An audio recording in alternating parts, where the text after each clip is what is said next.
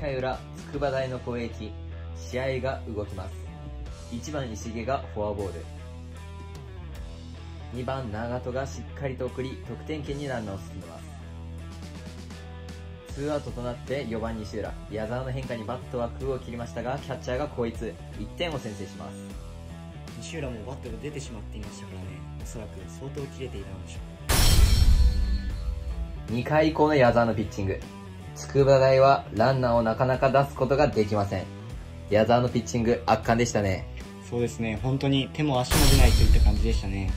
1対0と筑波大リードの6回日体大は2アウトランナー2、3塁のチャンスを作り7番森田。ここでエース西舘が意地を見せます。追い込んでからこの日最速146キロのまっすぐで見逃し三振。筑波大ピンチをしのぎます。うちのエースも負けていません。ナイスピッチングそして7回。先頭代打俊足の小滝にフォアボールを与えてしまいます。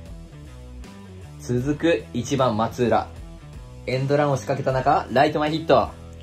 さすが日体大学。しびれる場面でしっかりとエンドランを決めてきます。続く2番中妻。センター前ヒット。日体大が同点に追いつきます難しいフライでしたねショートの長友よく追ったんですがあと一歩届きませんでしたここで筑波大学はピッチャーを長曽壁にスイッチ。ツーアウト1、3塁のピンチで4番本間。捉えた当たりはファーストゴロ。筑波大、なんとか踏ん張ります。そして9回裏の筑波大の攻撃。ツーアウトとなり、石毛が三振。得点できず、延長戦に突入します。タイブレークとなった延長10回表、日体大の2番南を三振に打ち取り、3番中島、1、2塁間に強烈な打球、野沢がファインプレー。これは本当にチームを救いましたね。野沢、ナイスキャッチ2アウトまでこぎつけ監督もマウンドに向かいます。4番本間はフォアボール。2アウト満塁。そして迎えるは DH を解除し5番に入った矢沢。やはりこのバッターにはこういう場面で回ってくるんですね。さあ、注目の勝負が決まったのは初球でした。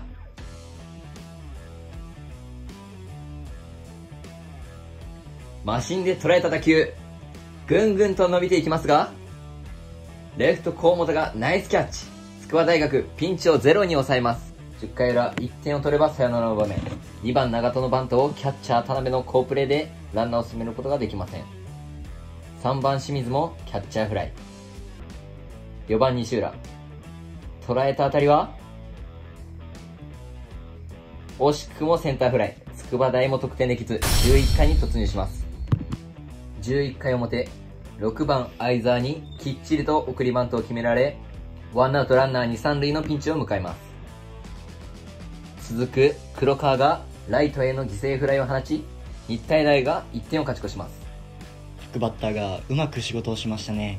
しかしこの回を1点で抑えた筑波大学ナイス守備でした。としても1点を取りたい筑波大学。先頭の庄島がバント失敗。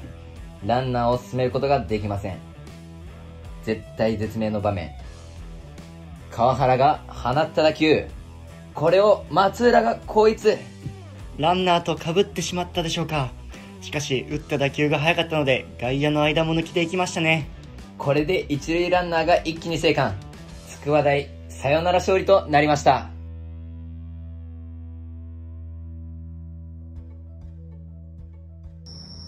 ワンアウト一塁二塁であの打席どのような気持ちでバッターボックスに入りましたか？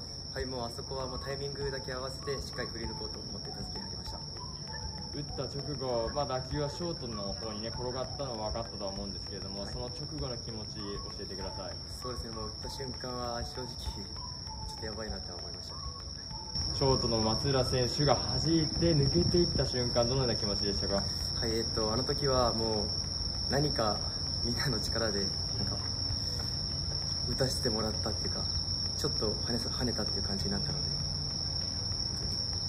みんなに打たせてもらった感じ思ってます。